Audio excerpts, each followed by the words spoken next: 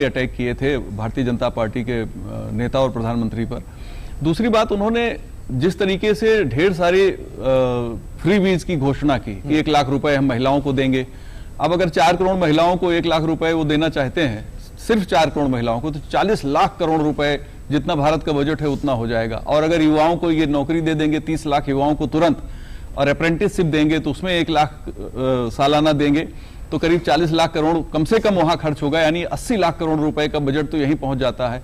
इसके अलावा और जो उनकी अ, फ- फ्री वीज की सुविधाओं की जो बात उन्होंने की है अगर वो चा, चा, पाँच के बजाय अगर दस किलो राशन जैसा बीजेपी भी अभी आठ महीने पहले तक दे रही थी तो अगर वो देंगे तो अभी दो लाख करोड़ रुपए हर साल जो है फ्री अनाज देने पे खर्च होते हैं तब चार लाख करोड़ रुपए हर अ, हर साल खर्च होगा। तो करीब 100 लाख करोड़, यानी वन ट्रिलियन के आसपास का वन ट्रिलियन का जो ये फ्री बीज की अनाउंसमेंट इनके द्वारा किए गए हैं, वो हैं। लेकिन जनता ने इसे एक्सेप्ट किया। क्यों एक्सेप्ट किया? कि एक ट्रेंड बन गया है भारतीय जनमानस में, खासतर तौर पे गरीब को ऐसा लगता है कि राजनीतिक दल सिर्फ़ हमको फ्री में देने के लिए होते हैं, और हर चुनाव हमको फ्री में सुविधाएँ देने के लिए होते हैं। और इस पूरे चुनाव में जो सबसे बड़ा नैरेटिव था वो था कि संविधान बचाओ। तो संविधान और आरक्षण, जैसे संविधान पूरा पूरा सिर्फ़ आरक्षण के लिए बना है और कुछ है ही नहीं संविधान में। मुद्दा बहुत गंभीर था।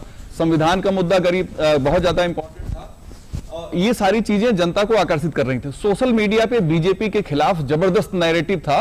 बीजेपी कहीं से उसको काउंटर नहीं कर पा रही थी। मैं ऐसा समझता हूँ कि शायद इसमें जो प्लेटफॉर्म है, उनके द्वारा भी इस बात को प्रमोट किया गया एल्गोरिदम के माध्यम से कि जो चीज़ें खिलाफ में है उसी समय की एक और बड़ी खबर बड़ी खबर ब्रेकिंग न्यूज़ इस समय आ रही है कि अरुणाचल पश्चिम से